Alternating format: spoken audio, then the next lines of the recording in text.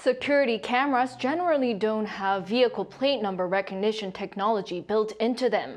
But now artificial intelligence is playing a role in using these cameras, so even without the expensive functions built in, security cameras may be, may be able to detect wanted vehicles. Eun-jin has the story.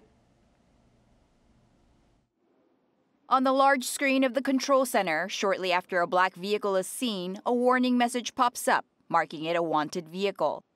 The vehicle's travel route is tracked in real time as police cars are dispatched, successfully blocking the wanted vehicle shortly after. In its demonstration stage here in Chungcheongnam-do province, incorporating artificial intelligence technology into general CCTVs allows the system to first recognize a wanted vehicle plate number, then continue tracking the vehicle. In Chungcheongnam-do province alone, there are some 26,000 CCTVs, but only 5%, or roughly 1,300, are able to detect vehicle plate numbers. The remaining 95% of the security cameras require control center staff to manually look out for wanted vehicles. But the latest artificial intelligence upgrade would allow these general cameras to detect vehicle number plates, which can immediately be cross referenced with the National Police Agency's wanted vehicle search system. The cameras are generally divided to monitor allocated regions.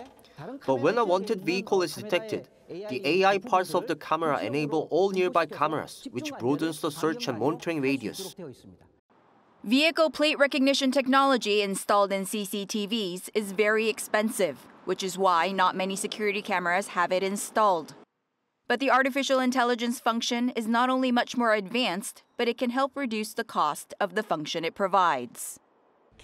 Vehicle plate number detecting cameras cost between 6,000 to over 7,000 US dollars, but general cameras are one tenth the cost.